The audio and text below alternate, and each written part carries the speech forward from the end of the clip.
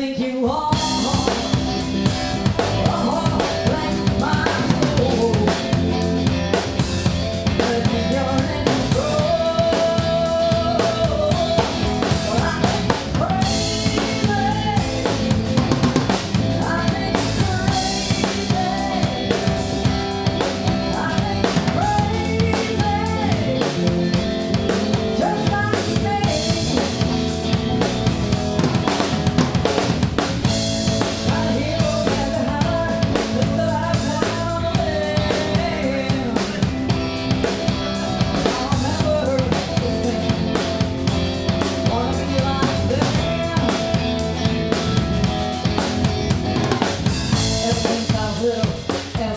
little it looked like home.